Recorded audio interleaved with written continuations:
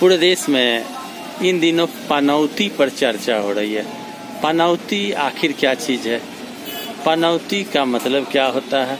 अब पनौती शब्द निकला कहाँ से? इस पनौती शब्द पर राजनीति हो रही है। नेताओं के सभाओं में पनौती शब्द का प्रयोग हो रहा है। और आम जनता भी वर्ल्ड कप के बाद पनौती शब्द को सोशल मीडिया में खूब उछाला। अब कांग्रेस और भाजपा में पनौती शब्द को लेकर ज़बरदस्त टक्कर हो रही है। जबकि मुझे जो याद है कि पनौती शब्द एक फ़िल्म थी जिसमें परेश रावल जो फ़िल्म के किरदार निभा रहे थे, वो भाजपा के सांसद हैं और उन्होंने अपने पत्नी को पनौती शब्द कहा था। और अन्य कई फ़िल्म में पनौती शब्द का प्रयोग हुआ है। और विश्व कप में भारत की हार के बाद पनौती शब्द का प्रयोग आम जनता ने करना शुरू किया।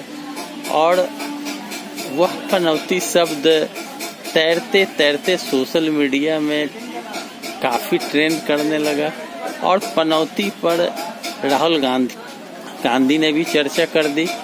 नीतीश कुमार के सभा में भी जनता पनौती शब्द का प्रयोग किया, लेकिन नीतीश कुमार ने अपने ज़ुबान से पनौती शब्द का प्रयोग नहीं किया। नीतीश कुमार ने पूछा, अवश्य कि जनता क्या कह रही है? तो पनौती शब्द का अर्थ क्या है? पनौती आया कहाँ से? तो मेरी जानकारी के मुताबिक जो सूत्र के हवाले से जानकारी मिली है, और जो सर्च के बाद आया है कि पनौती शब्द का अर्थ होता है काम बिगाड़ने वाला, जो लोगों का धारणा है।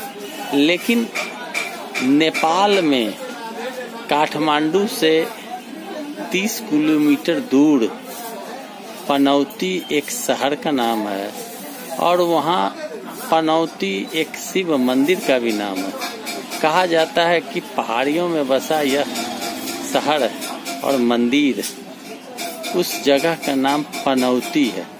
तो इससे यह ज़ाहिर होता है कि पनौती शब्द हो न हो, वहीं से तैरती हुई निकली हो, या फ़िल्मों में जो कलाकारों ने पनौती शब्द का प्रयोग किया, वहाँ से पनौती शब्द तैरी हो, तैरती जनता के बीच आई हो। लेकिन जो भी हो, पनौती शब्द पर चर्चा है राहुल गांधी ने कह दी तो राहुल गांधी को नोटिस कर दिया गया। अब राहुल गांधी के पनौती शब्द के प्रयोग के बाद, आम जो प्रवक्ता हैं बीजेपी के, वो भी हमलावर हो गए। मतलब पनौती शब्द कहीं न कहीं मोदी जी पर प्रयोग किया गया, ऐसा कहा जाता है। लेकिन पनौती शब्द फ़िल्मों में कहा जाता है, कोई विवाद नहीं। पनौती शब्द एक ज़िले का नेपाल में नाम है, कोई विवाद नहीं। एक मंदिर का नाम है, कोई विवाद नहीं। तो पनौती शब्द का कहीं कोई ज़िक्र नहीं है, लेकिन पनौती पर चर्चा होती है। यह चर्चा बेबुनियाद और निरर्थक है। आपको वीडियो कैसा लगा, लाइक करें और सब्सक्राइब करें। धन्यवाद।